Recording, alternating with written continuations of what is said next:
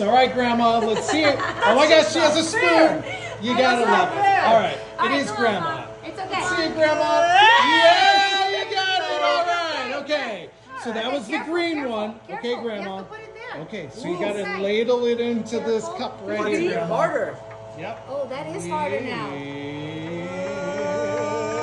Yeah. Good job, Mom. All right, Grandma. Okay, so let's see what's under the green cup there. Can you imagine she gets the bad surprise? Don't tell me about The surprise. big surprise! Yeah, Grandma. All right. Okay, so it says pull here. Go ahead and just pull it up. Answer to win. All right, Grandma. So it's going to be a riddle.